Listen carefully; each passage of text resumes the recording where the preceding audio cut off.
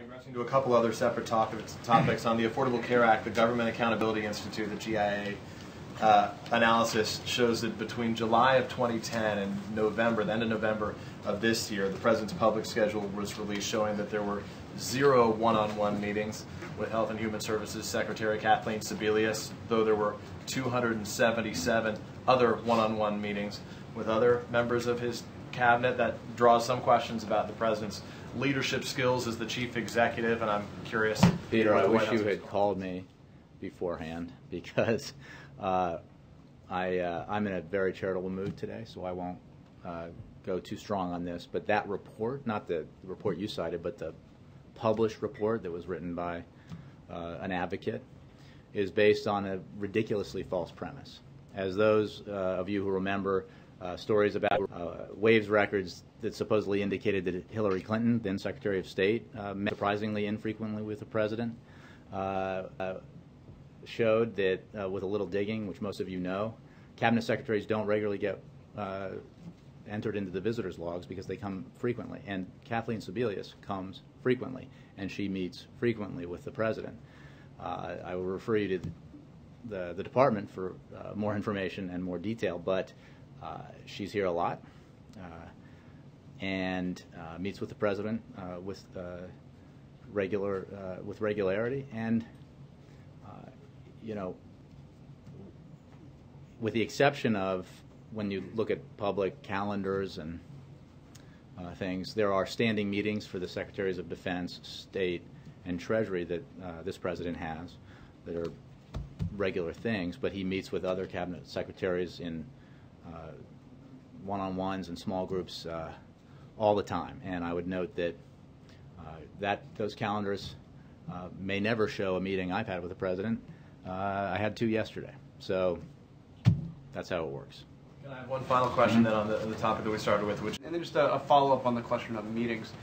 You refer us to HHS. Will HHS be able to tell us how many times? I would, I, I don't know. I, again, because They tend to refer us back to years. I'm well, no, I, I think on this case, They'll they'll have uh, uh, information for you. I, the point I'm trying to make here is, uh, as I was making to a reporter earlier, is that, is that uh, there's obviously a, a lot of folks out there who uh, have been rightly critical of healthcare.gov and, and in general opponents of uh, Obamacare and the, and uh, the whole effort who uh, have uh, made arguments, and that's fine.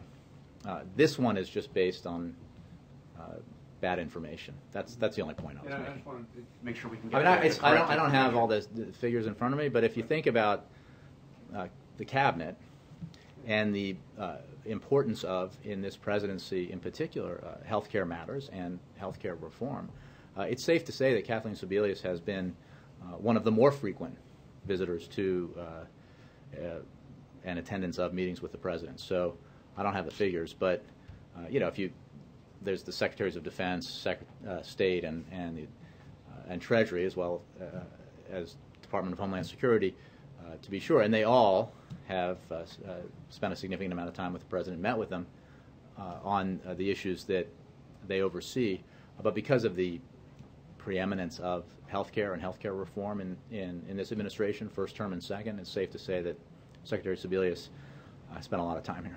So can can you just explain though how does because you, you mentioned that on the schedule, Mm-hmm.